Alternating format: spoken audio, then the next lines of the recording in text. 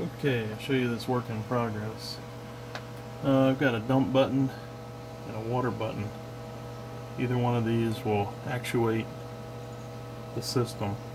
By holding the dump button for five seconds, you'll see out here in the chicken coop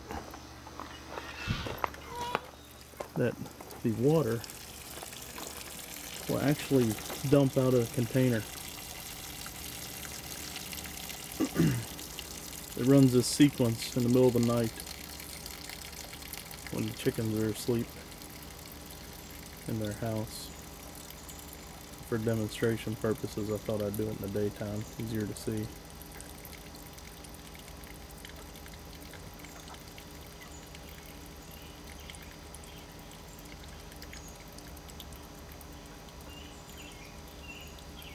Bucket gets around the 45, a little steeper angle.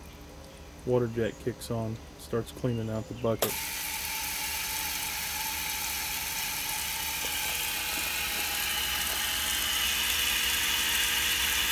You can see it's a, a fan jet.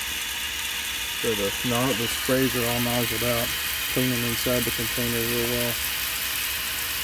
Underneath the ground I've got a drain tile and all the excess water runs into a garden that's just down from this spot on our property. So it conserves the water by watering the garden. And even when we top off the container, it, it uh, you know, that water leaches down into the garden too. So then what rotates back up once it's fully empty. On its way back up, it'll start filling the bucket with fresh clean water.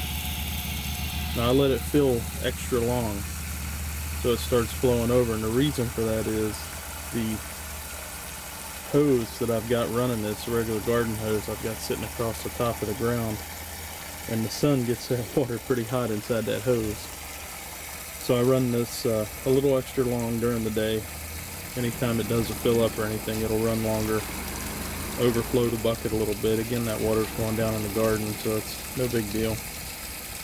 And uh, just to let the water get cool from my hand.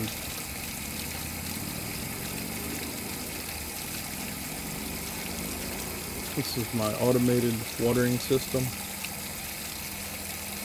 Every hour it tops that container off and in the middle of the night it does the dump, dump routine you just saw.